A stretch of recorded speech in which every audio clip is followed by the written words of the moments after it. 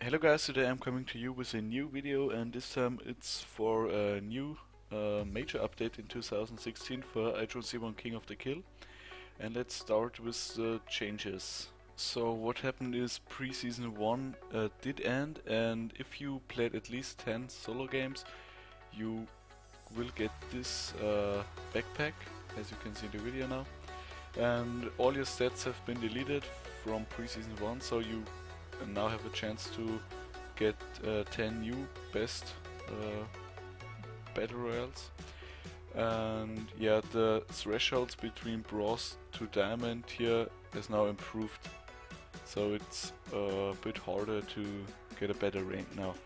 And there's also one new event uh, you probably knew about Green Dawn and now there's the first one for King of the Kill and it's called the Skull Crusher events you can participate in it with uh, event tickets or with crowns. I don't know how you get the event tickets now.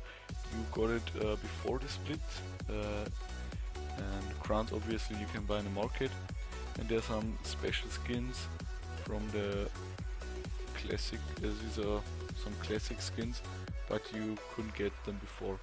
And the event is starting from the 13th of December to the 10th of January.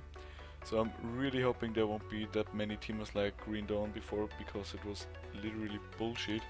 But yeah, let's hope for the best. And there's also a new feature for every streamer out there. You can now directly invite uh, people from your Twitch chat to your duos or five man games.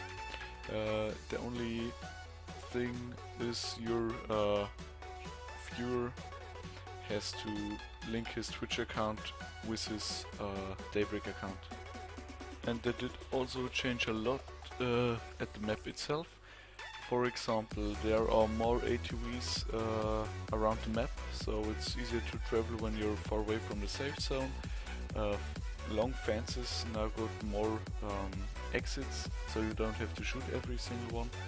There's more loot and camps are in like open areas. There's more cover added to the areas, for example more trees and more big stones. The hospital stairway has been fixed, there was a pretty strange bug where you could glitch through a wall. Um, you can no longer chop down trees with Batman. They also did a new change to the crafting system and as well as the scrapping system. For example in the crafting system uh, there are now bars that show you how much you already got to craft a certain item. And there's a, you can now add buttons for craft and craft max. So you don't have to press E like 2 or 3 seconds and there's also a new crate, it's called the Frostbite crate, it has 26 new items, 3 of them are animated and if you want to watch me uh, unboxing 50 of these crates you can click the uh, video now. Thanks for watching and have a nice day. Bye!